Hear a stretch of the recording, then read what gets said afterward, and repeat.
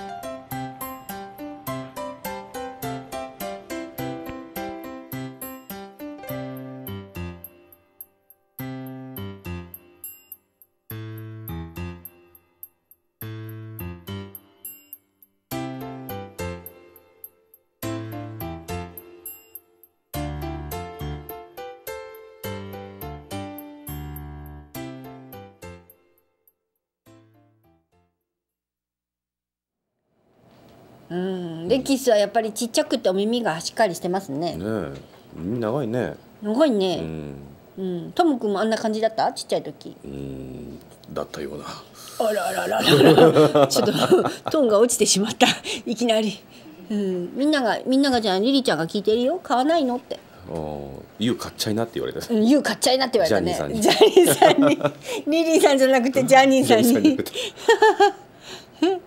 何？ポアロの子さなんだうん。うんうん。人間のウサギ何人間のウサギって？バニーちゃんのこと？ああなんだそりゃ。人間のウサギってガジュさんなんですか？それ。私みたいだって。今日なんかガジュさんちょっとさいつもと違うんだよね。どうしたんだろう？なんかあったんだろうか。ちょっとロロロマンス入っとね。うん入ってる入ってる。ガジュさんそういえばあのねまるくんとうん。妹も一緒にまた送ってくださいね。楽しみにしてますので。ね。はい。はい。ということで。お時間ですか？はい。はい。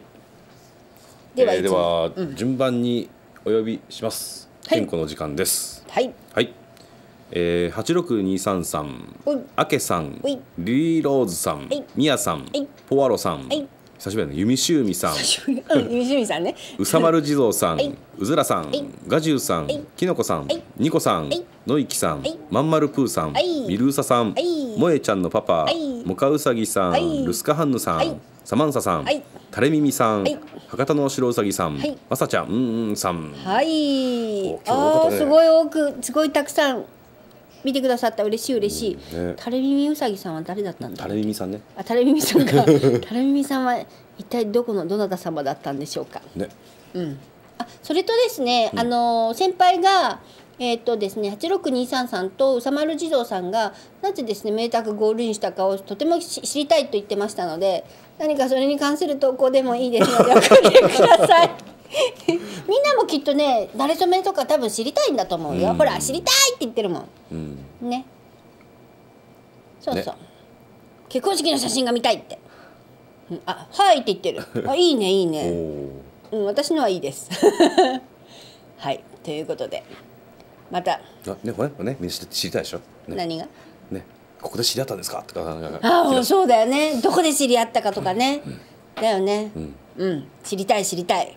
はい、はい楽しみにしてますお。ほ あ先輩はって逆襲だよ。はい、ということでですね、今日もそろそろお時間となりましたので、はいまた来週ですね。このお時間にはいここでですね、皆さんにお目目にかかりたいと思います。はいはい、ではまた来週まで。ありがとうございましたはい、ありがとうございました。さようなら。ありがとう。